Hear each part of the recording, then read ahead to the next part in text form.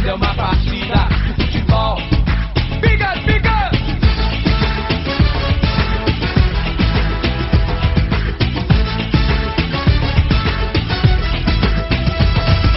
Posso morrer pelo meu time.